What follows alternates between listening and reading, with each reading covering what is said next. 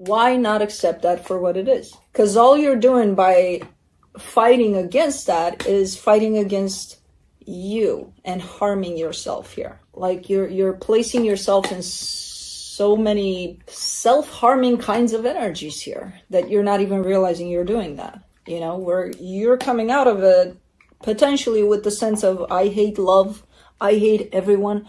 I don't want to be in, you know, like I don't want to have to do with anybody ever again, never in my life. I hate life. I hate everything. I hate everyone. Leave me alone. That's the result of that. And that's not true. None of that is true. It's what this rejection did to you. But that's not who you are. So basically, you're turning yourself into something that you're not.